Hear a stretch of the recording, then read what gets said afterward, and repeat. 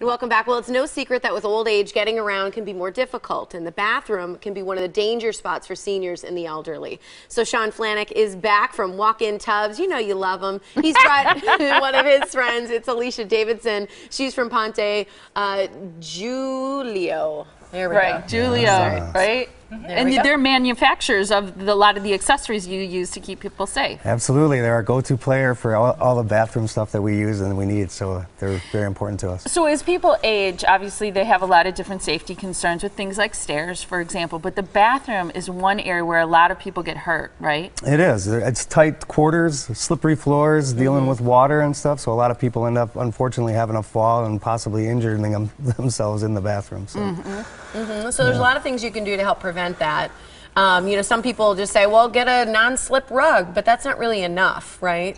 Generally, no. Um, uh, the, the biggest obstacle seems to be actually climbing in and out of the current bathtub because Yeah. it's a higher wall. You're, again, you're dealing with the water, and people, that's where they really struggle is using something to get them over that wall, get in and out of the tub safely. And do you find that kids of aging parents are getting more involved in helping make decisions about how to modify a bathroom? I, I do. A, a lot of people have been coming to me lately and saying, you know, my mom or my dad, there's a little vanity there. and They don't want to accept the fact that maybe they need something like this, but I've watched them, I've helped them, and I can tell that they would definitely benefit from some of your products. So I do talk to a lot of people that are looking at their parents and saying, boy, I really want to help them stay safe in their house. Yeah, and you really go and evaluate someone's situation. You know, when we're looking at some of these pictures, you'll also see we've got the phone number at the bottom because one thing you hear a lot from people who want to come see you is, you know, hey, I can't wait long, I can't write the phone number down. So we're going to have it up most of this um, whole segment so people can write it down. But what do you do when you evaluate? When you go to someone's home, you look at what they have existing. What are you looking for? Well, I really take into the whole the whole concept is I, I want to see what they have in their bathroom currently and what I can do to help them, but also what are their physical impairments. You know, um, everybody's a little different, and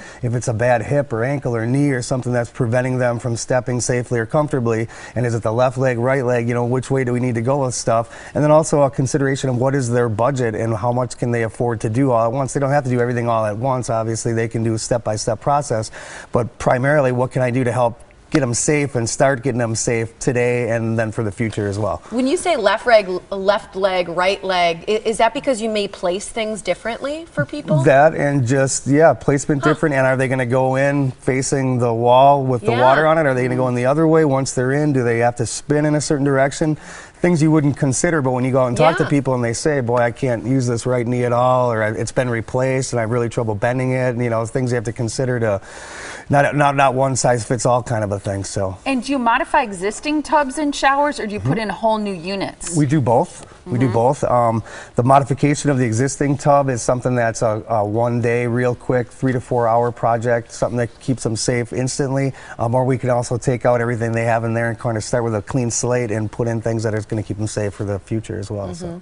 And one of those first modifications that people often make is the grab bar, and that's really kind of where you come into a lot of this, Alicia, is that you guys manufacture these and, and work really hand in hand with walk-in tubs. Oh, definitely. And there's just so many options out there that people aren't aware of. Don't need to settle for a cold stainless steel institutional grab bar. Like this um, product here has over 18 different colors, and we have stainless steel finishes and designs that look really elegant in your home, and it feels so comfortable to use. It doesn't look medical. No, you know? exactly. And there are just so many options. We have accessories that fit the entire bathroom to create a solution for every purpose, from folding supports to seats. Well, and they can look good too. I think that's a great thing is that it doesn't have to look institutional, like you said. And what our company loves to do to help people out is to create um, something. If there's a custom area where they can't find a product for, we can try to design something for them so it'll fit their need and they can feel safer. Mm-hmm.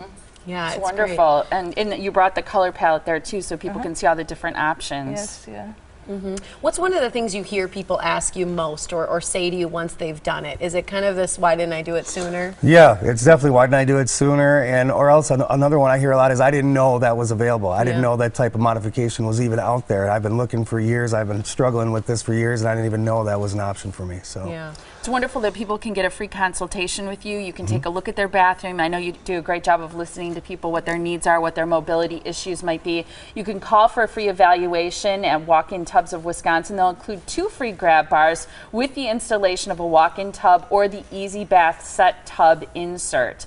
Um, you can find out more by calling the phone number that we've put up on our screen. Here it is again it's 262 443 3950. You can also visit them at walkintubsofwisconsin.com and you can see some of the different affiliations there on the screen as well. But again, the phone number is 262 443 3950. Nice to have both Thanks, of you you here. guys. Thanks a lot. Thank really you. appreciate it.